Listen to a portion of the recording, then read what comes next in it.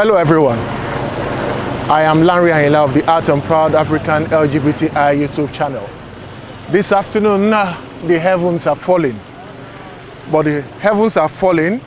Why? Because another one happened in Africa, precisely in Cameroon this week. Two trans women were jailed, not for anything, but for just being who they are in Douala. Um, this afternoon, I'll be discussing with some of my Cameroonian friends to uh, hear their views and for them to shed light on the plight of the LGBT community in Cameroon. Uh, the government of Cameroon has tightened the noose around the necks of the LGBT community, uh, making same-sex relationship uh, an illegal act. We have to remember that uh, Cameroon are parties to several human rights uh, uh, conventions. There is this convention against torture, which was ratified by Cameroon in 1986. But come along with me while I speak with my Cameroonian friends. Earlier in the week, on the 11th of May, two transgender, transgender Cameroonians who have been in jail since February yeah were convicted for five years each in Douala. Uh, this has sent wrong signal to the LGBT community uh, as at large in Cameroon. We have to remember that uh, the Cameroonian government were part of a, they signed a convention against torture in 1986, which was ratified by the government. Yes. Um, we are here to talk about it. What is the implication for the gay men and women in Cameroon? Martins, please. Thank you, Larry. Thank you. Um, actually, it's a very dramatic situation happening now in Cameroon. And uh, being a Cameroonian uh, uh, gay man, I'm telling you, it's not easy. Uh, gay people are facing a lot of persecution in Cameroon. They, they, they are very much marginalized and discriminated. And they are very, very much in pain, facing a lot of trouble. And now we can see today that the government is not even not hiding what is happening. They are now sentencing people for being who they are, for being gay, for loving themselves, for trusting into what they are. And you can now see Shakiro and Patricia is a concrete example of torture which LGBT people are facing in Cameroon. It is now in front of the whole world. No one can argue the situation. Mm. You can see it. They've been in jail for since February, as you say. Who knows what happened to them? I've been in jail and I'm telling you, it is hell there. It is, there's a lot of, even in jail, you have a lot of discrimination, you have a lot of torture, and that is what they are facing. And as for now, it's very, very obvious that they're going to face a lot, a lot of discrimination. And bear in mind again, they have been sentenced for attempt homosexuality. They, are, they, did, they did not cut them in the act. They did not cut them.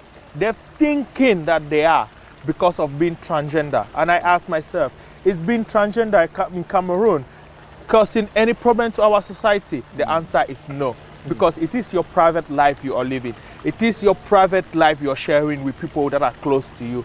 You are not being against the society. You are not being you are not a thief. You are not they should be dealing with politicians that are stealing our money instead of oppressing the, the famous population for being who they are. Mm. As for now, I 100% believe this is a bad signal they're sending to the LGBT people in Cameroon. They won't be able to live their life. They will be going back to the closets. They are telling the LGBT people in Cameroon that you're not saving Cameroon. You need to take the road to Libya. You need to go to, to, to, to US. You need to go to Europe to find a better life. And all of us know what is happening to that road. The desert, all of them are dying. They are telling the people, this is not where you want to be. You need to flee. And it is not a good situation.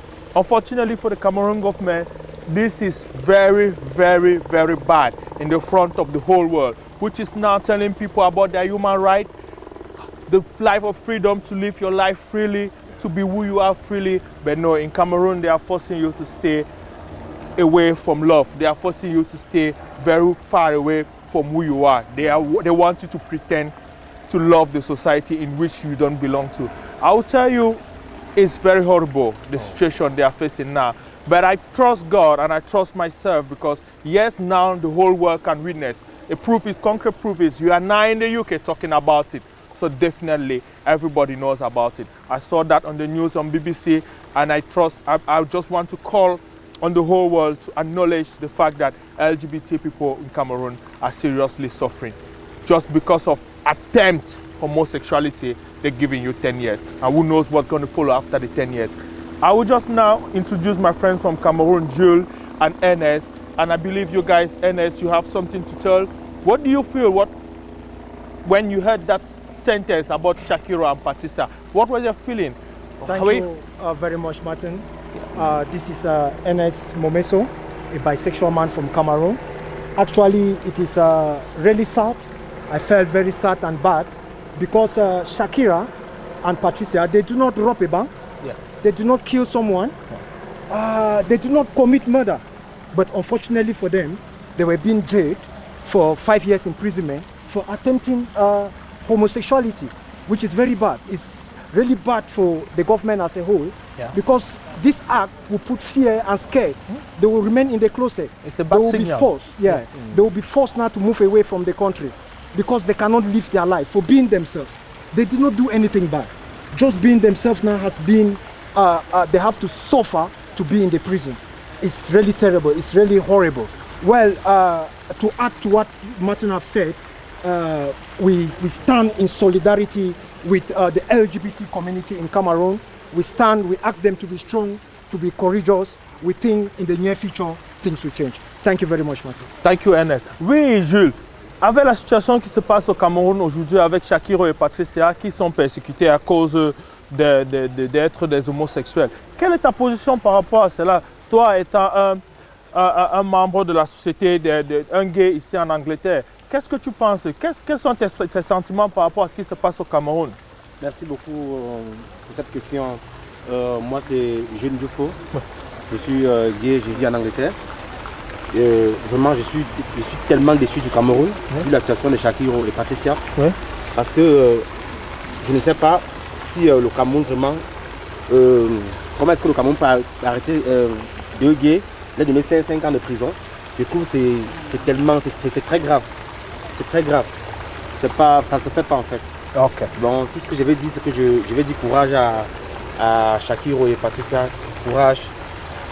Ils ont tout mon soutien en fait. Je vais dire. Oui, monsieur Jules. Et avant de, de vous laisser, quel est le message que vous donnez alors à cette communauté, cette vaste communauté de, de, de, de- gays, de, de, de- de lesbiennes que nous savons au Cameroun. Oh, qui sont même d'abord soutenus par une brillante avocate, maître Alice Koum, que nous, avons, que nous reconnaissons ses, ses prouesses à, à- à- lutter pour le fait que les gens soient libres, les gens puissent libre- vivre librement. Quel est ce message? Un message d'espoir? Un message d'espérance? Quel est ce message que vous donnez à ces gens-là? Merci beaucoup, Maître Alice Com, pour tout ce qu'elle fait, elle fait pour, pour les gays au Cameroun, les lesbiennes. Monsieur Euh, le, le message que je peux, que je peux donner, c'est je les soutiens et je suis avec eux.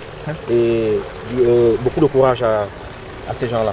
Beaucoup de courage. Beaucoup de courage. En fait, nous allons comprendre aujourd'hui que être gay, ce n'est pas un crime. C'est tout simplement un choix de vie. Un choix de vie qui n'impacte pas autant pour moi sur la société. Un choix de vie qui ne dérange personne.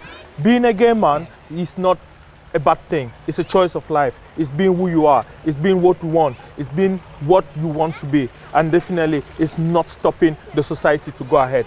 Mr. Larry from Nigeria, my friend, my neighboring country. This is what is happening to Cameroon. You can see the whole world is sour. Let's send this message of, message of hope to all the LGBT community. They should trust in themselves. They should believe in themselves. They should stay firm to their conviction. Love is love. There's no different love than what we know. Thank you very much, Martin. Thank you, Jules, and thank you, Ernest. Ah. Love is not a crime. We have to remember that the world is moving in a progressive direction. But Cameroon, like Nigeria, they are moving backwards. They are becoming more retrogressive. Why? Because same-sex relationship is being criminal, criminalized now in um, Cameroon. A celebrity like Shakiro and Patricia, if they could be subjected to this kind of um, treatment in Cameroon, what happened to ordinary members of the LGBT community. Countries like Mozambique, Gabon, Seychelles, Yeah. they are moving away. They've signed laws that are, uh, they've signed laws To support- to, to support, support that the community. LGBT community. Yeah. We don't know why it is now uh, getting backwards in Cameroon and places like Nigeria. Monday is set aside as Ida Hobbit Day, International Day against homophobia, uh, biphobia, transphobia, intersex, you know. Now, if what is the message that we're passing to the world? While the whole world is supporting the LGBT community worldwide, back home in Africa, we are sending our people into the Mediterranean Sea to commit suicide. That is the way I see it. Because in Cameroon now, when people go back into the closet, there will be rise in cases of mental health. Yeah. Suicide will be on the rise, and people will just want to run out of the country. Anyway, I'm happy that you guys are here to share your thoughts with us. Thank you very much. Mr. Hopefully, um, we'll have you to on our YouTube channel. Uh, Mr. Larry, before we go, there's Yes. one thing I would like the whole world to know now. tell us. Actually, it's not just being criminalized in Cameroon, but the LGBT people face a lot of issue accessing the health in Cameroon. You spoke about mental health. It's true. It is something that is real. But the community in Cameroon, they can't go to the hospital because when they ask you what is your sex, what are you going to say? There's no free space for those people to go and access that health.